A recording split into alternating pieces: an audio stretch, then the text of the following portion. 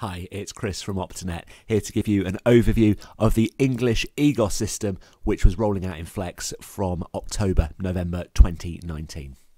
So let's log into Flex and have a look at how it appears on a patient record. What you'll see once EGOS has been set up is the EGOS button towards the top right hand corner of the system. Separately, in the setup which we'll have done with you, we'll have made sure your signature pad is linked up and helped you with the tablet apps, be it on iPad, iPhone, or Android that you might be using, uh, and also made sure that everything is communicating with the NHS servers. So, firstly, a recommendation make sure everything appears correct on the patient record. We have had issues with poor data entry on patient records, for example, around postcodes causing some issues, which can delay in the submission of claims. So, do make sure all the details on the patient appear as they should. But then we can choose EGOS, NHS England, and we've got GOS1 and GOS3. Let's have a look at GOS1 firstly. If I click on New Claim, Flex will ask us, do I want to select a sight test uh, before creating the claim? So if I say yes, then what I can do is go and um, into the form. I've, I've, selected, I've only got one test, which is why there's no picker that came up, but it's brought up my record with all my information. If you don't select one, then it can easily be loaded on after the patients um, had their exam put on. So if you're getting the form signed first on the paper version, as it were, then you can still do the equivalent on the computer. So this is what the GOS one looks like on Flex. It's brought through all my information, and at the moment there are eight errors which have been found. So as we go through, we can tick the boxes to make sure all of the information on here is correct. So again, this is a demonstration one, which is why there's been a few issues on it. But what I can now do um, is ask the patient to sign their form.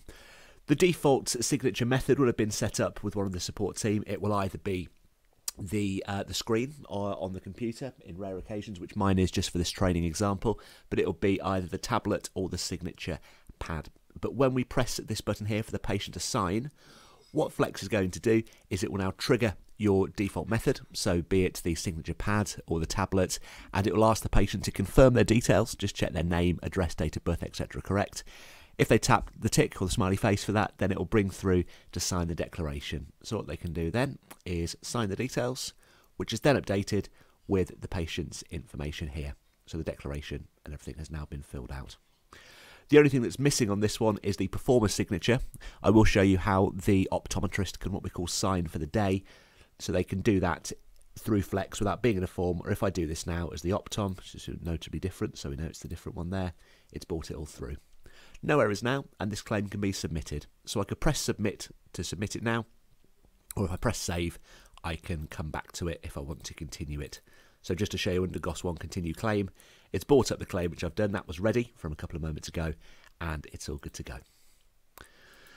GOS 3 works in a very similar fashion. With GOS 3, we've got new and continue claim, which works in very similar way to the uh, to the GOS 1. But just to show you what the form looks like, we can go through and correct all the errors as we go. The little red exclamation marks will let you know if there are problems. It will tell you about them, and you can go through and get the information there. So GOS 3 continue claim, like I did with the GOS 1, would be to come back to one separately. All of the patient's claims you can see by pressing on patient's claims. And the patient's signature, if you want to trigger your signature pad or the app, if you press send to capture, it will push the details through. Or if for some reason it's not been received in Flex, retrieve signature will pull that information in from the other device. Under GOS 3, we've also got takeaway GOS 3 voucher. So if someone does want to take their um, dispense elsewhere, then it creates a voucher with a lot less fields. It says here more fields at the bottom. Uh, but what you'll be able to do is put all that information in, and that classes as what's called a takeaway voucher.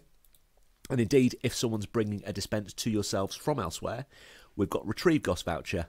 On the bottom of that takeaway was what's called a voucher code and an authorization.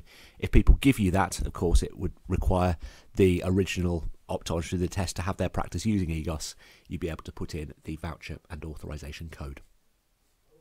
GOS4 is due to come in the first half of 2020. Under Business Intelligence, you'll see a new option under General and Voucher Reports called e-ophthalmic Claims for NHS England. What you'll be able to see here is all the claims which you've got due to go through, and you'll be able to see all the different statuses as they go through the system, what's happening. You can split by GOS1, GOS3, VO, that stands for voucher, so that's the takeaway vouchers for the GOS3 form type, and you can also search by claim references. You can refresh all your recent claims.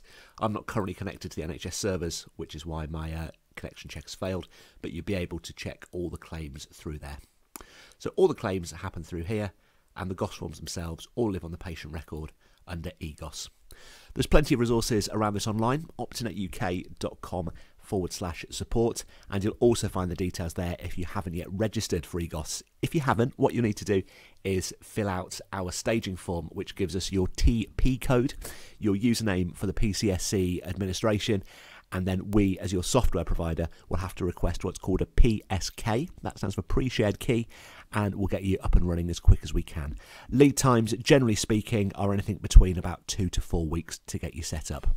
Any more questions, though, you can give us a call too. 0800 310 2400.